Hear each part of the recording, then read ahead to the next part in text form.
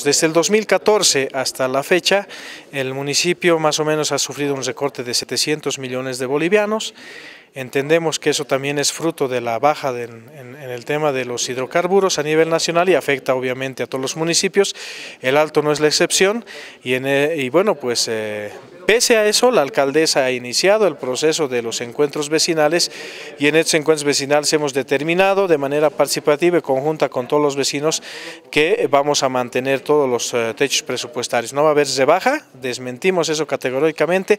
En el Alto, el 2018, todos los, eh, todas las zonas de los 14 distritos municipales van a seguir manteniendo su techo presupuestario pese a la rebaja del IDH en los últimos dos años. Y en torno hay pedidos, ¿no? pedidos eh, de revocatorio, todo eso, eh, nosotros queremos aclarar, ¿no?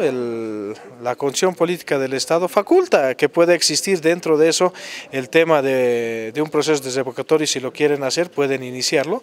Lo que nosotros vamos a hacer en tanto es trabajar, trabajar y trabajar porque nos han elegido para una gestión y la alcaldesa va a continuar con su trabajo en los 14 distritos municipales y nosotros respetamos cualquier otra decisión.